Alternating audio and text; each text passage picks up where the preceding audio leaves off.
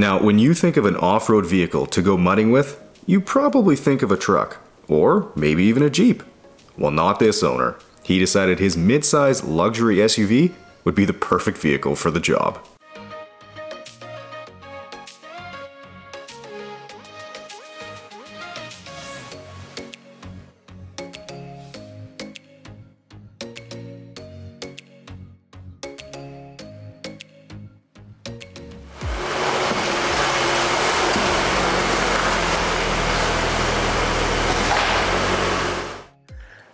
Going on guys and welcome to what promises to be a very muddy video today. This is a 2008 Acura MDX that was clearly out playing in the mud recently and while the owner no doubt had a ton of fun getting it this dirty, I think I'm gonna have just as much fun getting it all cleaned up today, so stay tuned.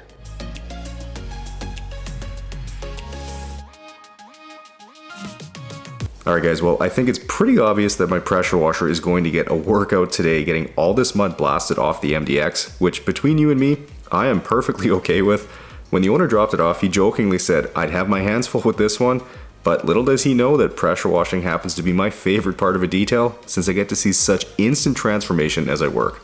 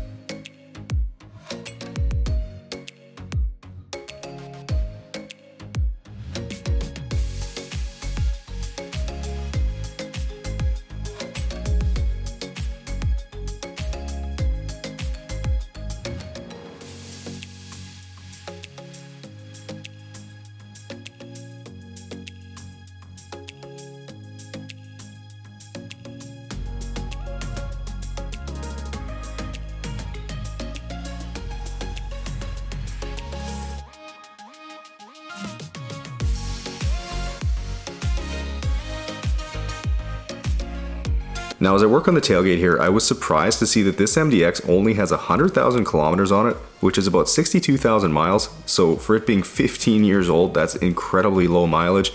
Usually I see vehicles on the other end of the spectrum, so that really makes me wonder why on earth the owner took it through a mud pit. I'll have more on that a little later.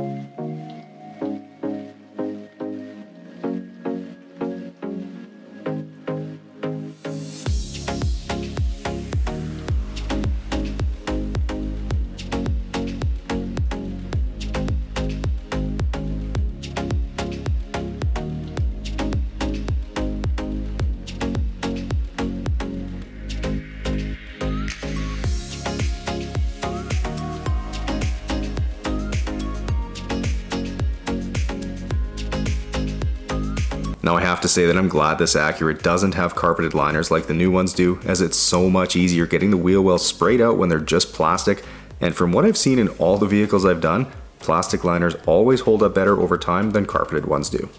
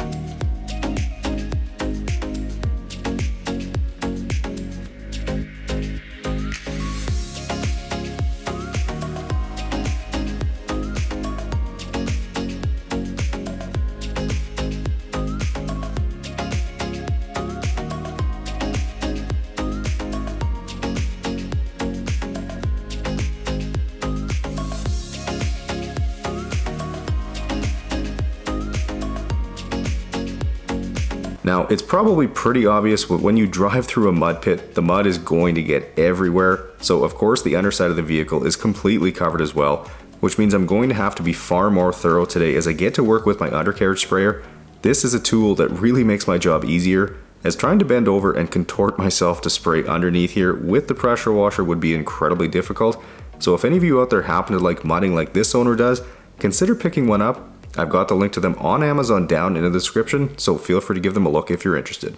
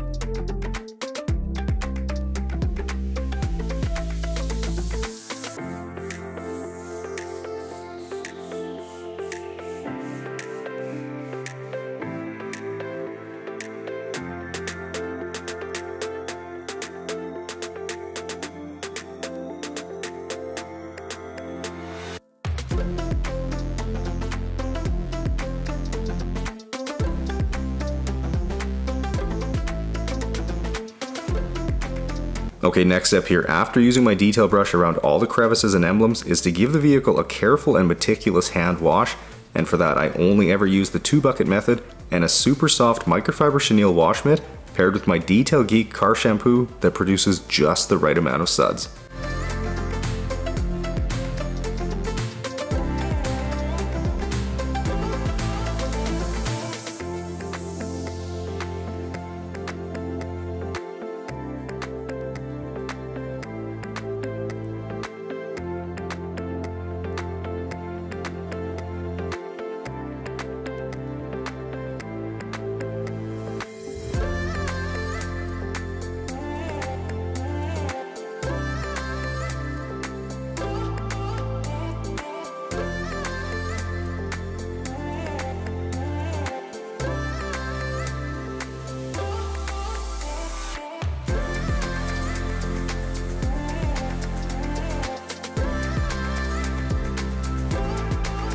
So one thing I don't film very often is wiping down the door jambs, but it is something that should get done every time you wash your vehicle, and while I was doing this, I couldn't help but think of how dirty door jambs are a huge indicator of how well a vehicle has been maintained.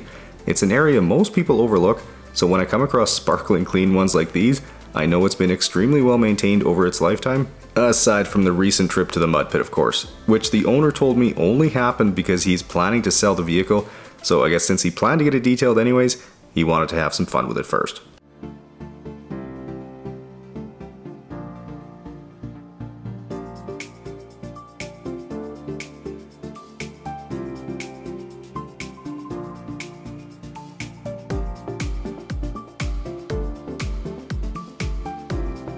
One more tip I have for you guys is regarding floor mats. If you're ever in the market for floor mats, consider choosing ones that are made from soft rubber like these ones as soft rubber always cleans up to look new and resists staining unlike hard rubber or plastic ones like WeatherTech. Now formed mats do a great job protecting the carpet, but they do stain really easy and look terrible as time goes on, so if you like things to look new, I'd go with soft rubber ones.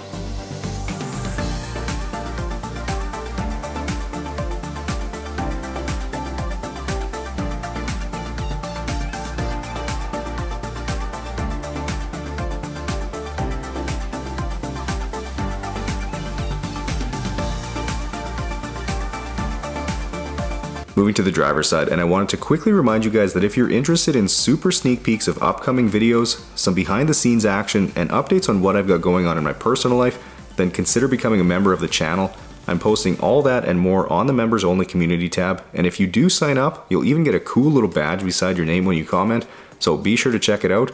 There's a big join button right below this video for you.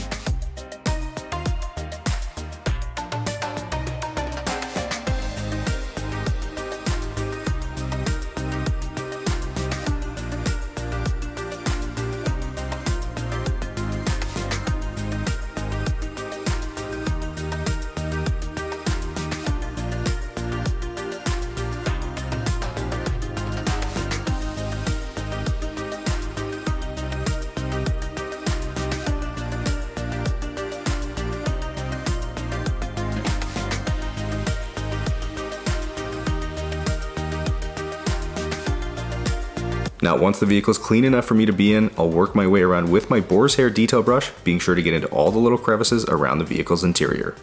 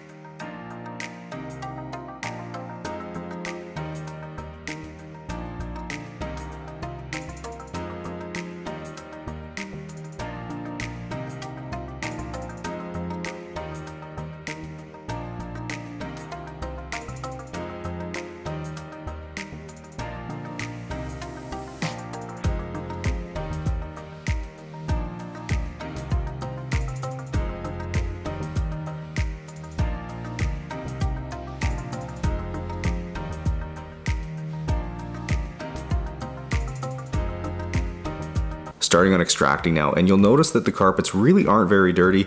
In fact, they look brand new in most spots, with the exception of the border around the floor mats, which does inevitably get dirty, but that certainly doesn't mean that I won't be cleaning every inch of them. It just tells me where I need to focus my attention most.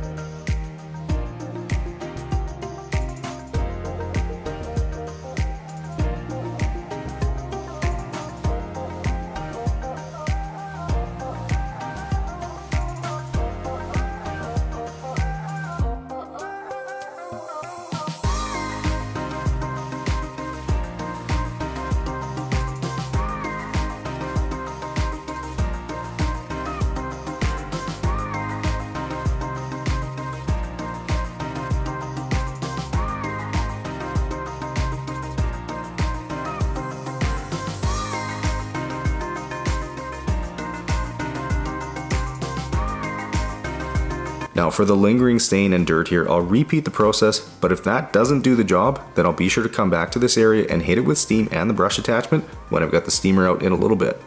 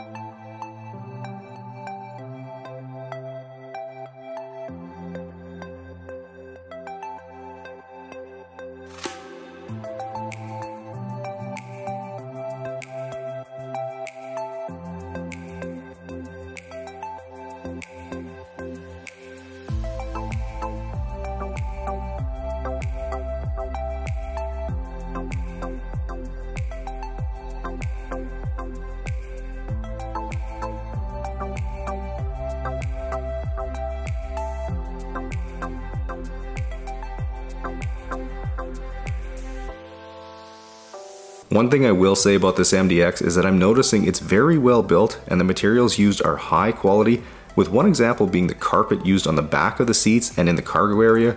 Typically most manufacturers, even the luxury brands like BMW or Mercedes, use terribly cheap carpet, but this Acura has probably the nicest stuff I've seen in a vehicle.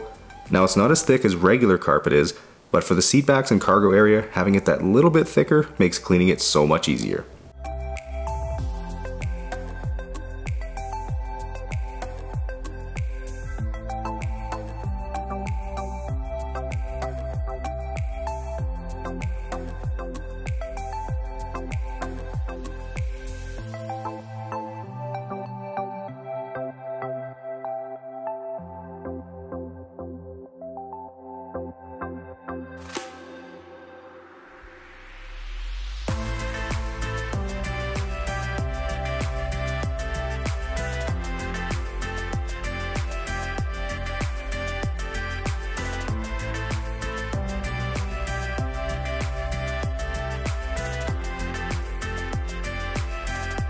Half bucket of dirty water the extractor pulled from the MDX today. Now, not the worst thing you've ever seen, but still pretty gross.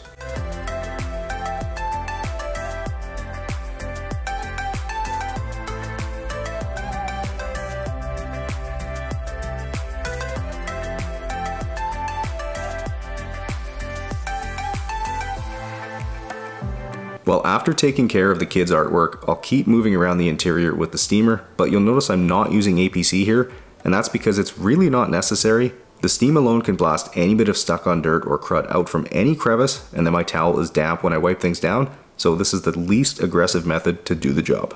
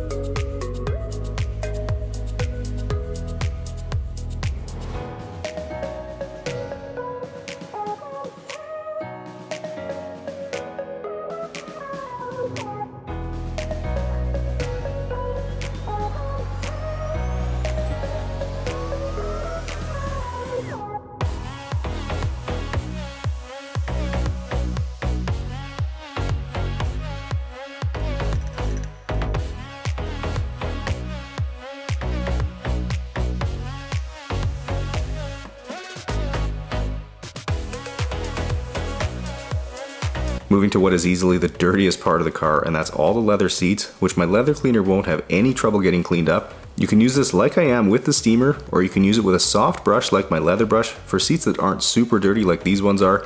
You can find both over on my website at detailgeekautocare.com, where worldwide shipping is available.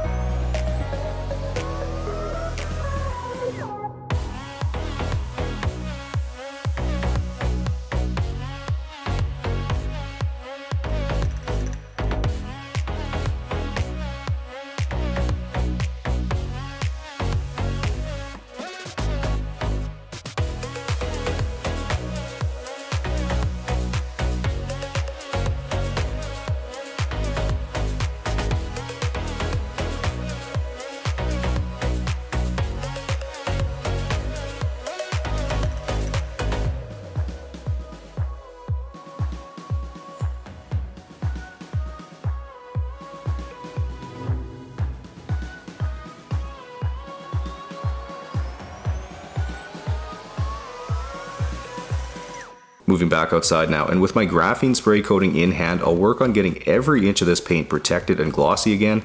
And in terms of why I chose the graphene spray over my ceramic spray or paint sealant today, well, it's really just personal preference, as they all do essentially the same job, albeit with some subtle differences.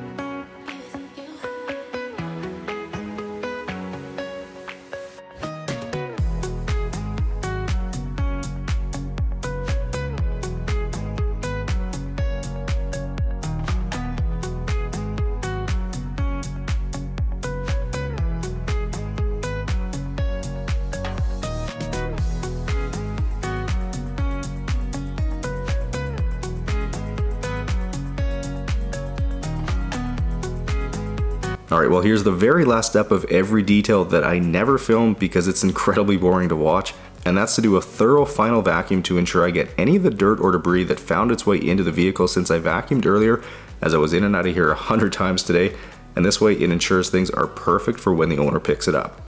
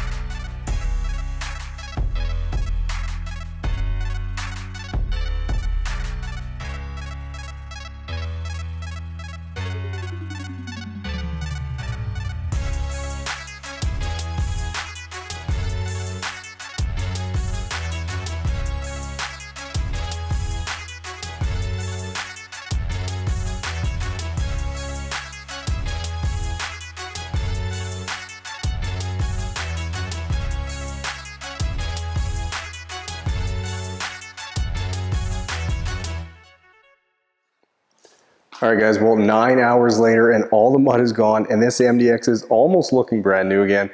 So hopefully the owner can keep it out of the mud for at least a little while. Anyways, if you guys enjoyed this one, make sure you smash the thumbs up button and subscribe to the channel. Don't forget to check me out on all my other social media. Enjoy the guitar outro, and I'll catch you guys in the next one.